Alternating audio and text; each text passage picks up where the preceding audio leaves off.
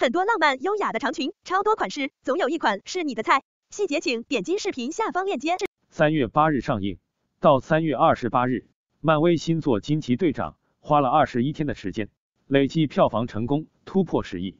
是，或许十亿票房对于漫威的超级英雄电影而言，谈不上难度多高的事，但是这一部《惊奇队长》还是有些特别。首先，它是漫威第一部女超级英雄电影。它还是漫威的本名电影，而且放到复仇者联盟四之前，有种交棒的感觉。相信喜欢漫威电影的观众都知道，复仇者联盟四之后会有一波超级英雄离开。惊奇队长虽然票房突破十亿了，但是这个过程并不轻松，因为这部电影口碑一般，所以上映一周后单日票房下滑的很快，所以这十亿票房其实来的有些迟。这十亿票房里。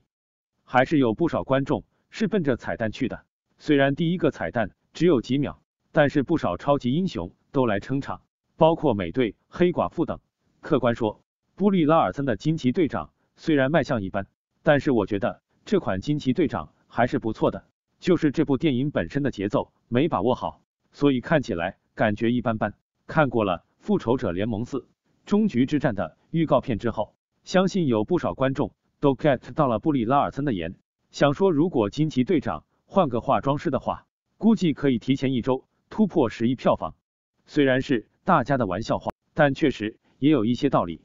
话说回来，以惊奇队长目前的热度，票房突破十亿之后，也不会有太明显的增长了。而对于漫威迷而言，今年的大餐是接下来的复仇者联盟四终局之战。